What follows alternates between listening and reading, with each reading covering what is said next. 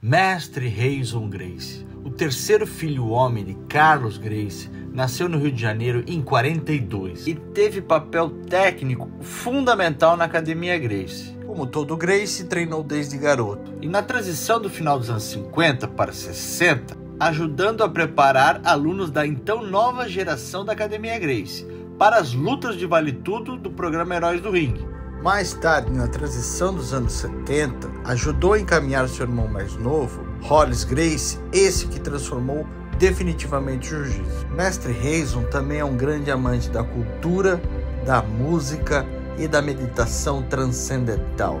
A convite do amigo Arthur Virgílio Neto, desenvolveu jiu-jitsu em Manaus. E após dois séculos da chegada do primeiro Grace vindo da Escócia ao Brasil, é Reison Grace que retorna com a sua neta à Escócia, primeira nascida lá, Julia Grace Pullinger.